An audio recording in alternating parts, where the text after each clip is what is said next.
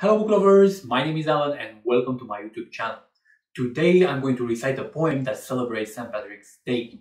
And the poem is written by Jean Blewett and is titled St. Patrick's Day. So let's do this. There is an isle, a green isle set in the sea. Here is to the saint that blessed it. And here is to the billows wild and free that for centuries have caressed it. Here is to the day when the men that roam send longing eyes over the water. Here is to the land that still spells home to each loyal son and daughter.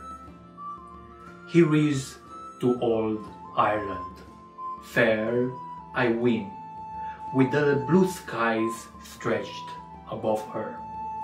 Here is to her shamrock, warm and green, and here is to the hearts that love her. I hope you enjoyed my poem. Don't forget to hit that like button, add a comment, and subscribe to my channel to see new videos every week. See ya!